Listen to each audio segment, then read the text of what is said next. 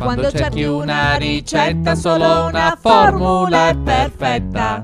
Se vuoi vivere con gusto, due cuori, una cappa è il posto giusto. Ed ecco gli ingredienti per il nostro finto panettone Sacher. Allora, delle arance candite, io le ho prese così a fette, una marmellata di arance che non sia troppo amara, ho preparato tre basi per torta del diametro di 16 cm. Trovate la ricetta in alto a destra dove ce l'hai col pallino perché è una base torta che abbiamo già fatto sul canale.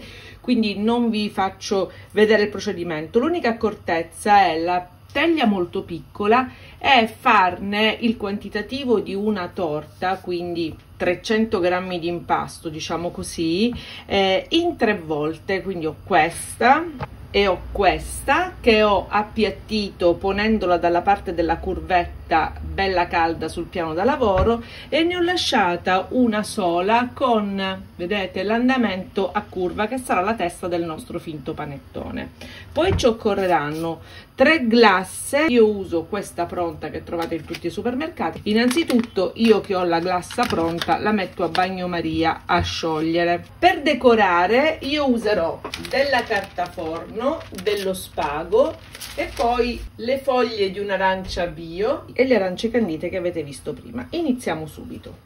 Prendiamo la nostra marmellata e frulliamola, non devono rimanere più pezzettini di arancia. Il frullare la marmellata non è un in più, ma è necessario perché renderà la marmellata bella fluida, quindi non farà grumo sotto la glassa al cioccolato. In più la eh, scorzetta che si unirà alla parte dolce porterà uno sprint veramente buono che non si percepisce lasciando le scorzette intere. La nostra marmellata è diventata semiliquida, lasciamola da parte e adesso taglio ogni base in due cerchi. E li lascio uno sopra l'altro perché questi due cerchi devono, devono combaciare ognuno con la propria torta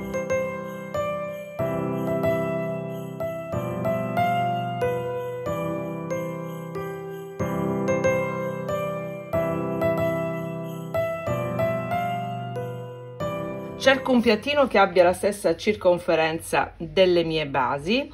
Lascio la prima doppia soltanto la prima e verso sopra la nostra marmellatona. Mamma mia!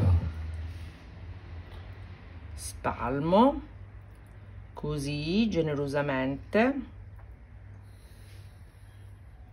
Io non uso bagna per questa torta perché voglio che sia una torta che possa durare nei giorni. Se mettete la bagna, consumatela eh, dopo pochissimo perché se no ammolla troppo. Massimo 2-3 ore. No, 2-3 ore no, ma due giorni sì.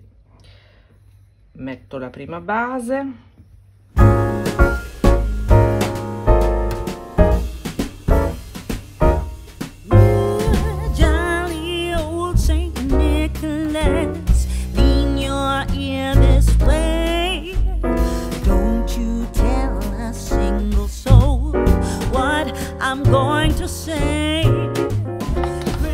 Anche sulla cupolina.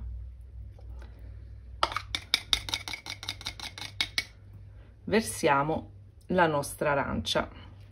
Ho protetto il piano da lavoro con della carta forno per facilitarmi poi le operazioni di pulizia successive.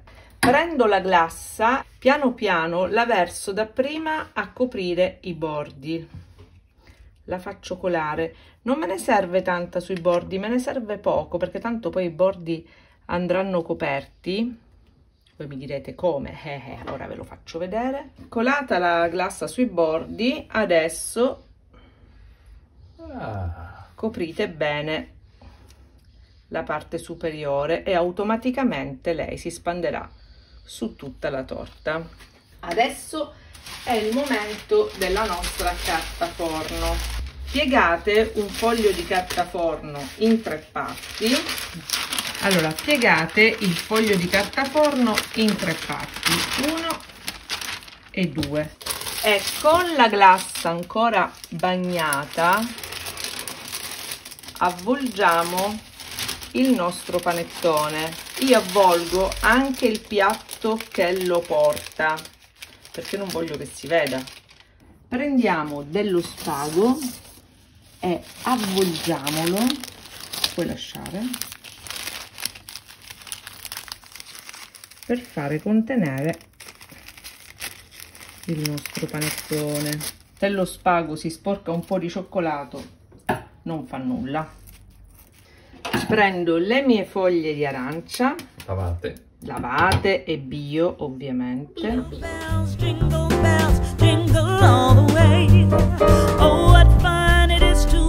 Metto per guarnire a simulare un po' l'abete che non ho sul balcone eh, due rametti di rosmarino prendo le mie arance candite e con un po' di glassa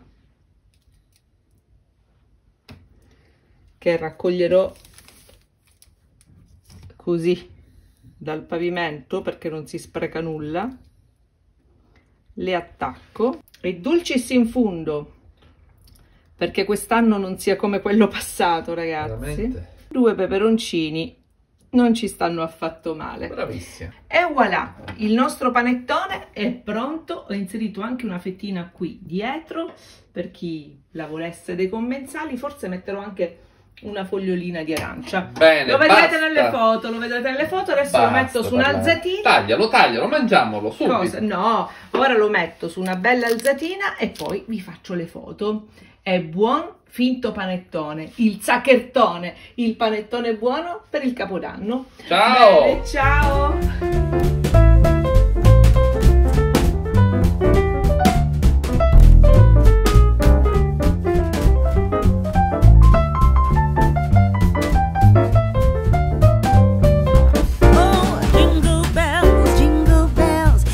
Oh, all the way.